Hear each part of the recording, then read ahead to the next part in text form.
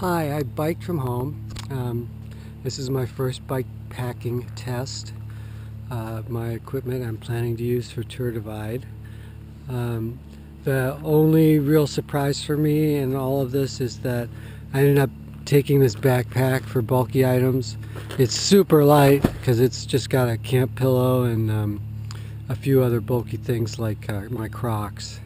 So instead of hanging hanging the Crocs off of here, off of the bag. I can just um, throw them in there. It was pretty easy to do that. Um, I think the big lesson for today, the biggest thing is I'm not going to keep these. These these are just not going to stay in place well enough for Tour Divide um, with the anywhere mounts. So we'll get bags for the bars and hang them from the bars, hang the bottles from the bars. Also, I'm going to go through and uh, lighten stuff up. I am going to try and get something to work for my camp equipment, which is really light, to put here. And then that'll free up a bunch of room in here and I'll be able to take a lot more room. And um, I've got a water bladder too that can go in there for extra water. All right, I think that's the, the major lessons uh, learned here. and. Uh, it was a nice ride today. It was a perfect day for it. Kind of cool, but uh, warm enough that I'm short sleeves, so it's just awesome.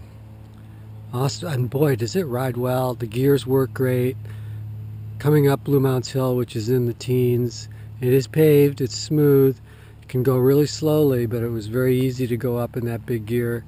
I clicked down two or three and could uh, go right on up. So that'll be very handy. Uh, no doubt when it's rough and rocky it'll be very challenging and uh, but uh, adding those gears and uh, just to review this was a single speed until very recently and I added this uh, uh, lever converted the Hylex single speed give me gears and back so that was pretty awesome. Alright, that's all. Bye.